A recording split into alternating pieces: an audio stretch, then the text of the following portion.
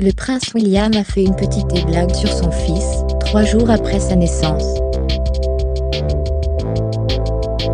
Il s'est en effet amusé de l'accouchement rapide de son épouse, Kate Middleton. On ne vous a pas trop fait attendre, a-t-il lancé au photographe, en référence au rapide accouchement de sa femme. Elle n'était restée que 7 heures à l'hôpital.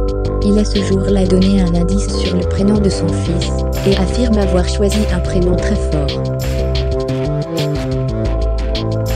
L'enfant a finalement été prénommé Louis.